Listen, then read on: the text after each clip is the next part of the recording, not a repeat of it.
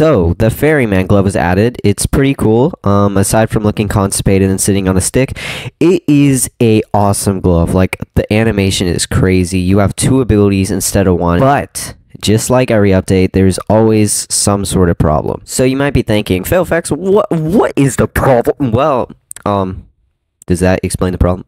Yes, I am a floating, I don't know, I'm meditating or something right now. But I'm not constipated anymore, you know? It's pretty cool. Um, but I think to fix this glitch, all you need to do is reset your character and then come back into the arena. And as you can see, I'm now sitting on a stick again. And that's, it's awesome, guys. Alright, anyways, that'll wrap up today's video. If you do enjoy my content, please subscribe. It would mean a lot to me. We're trying to hit 2 million subscribers by the end of this month.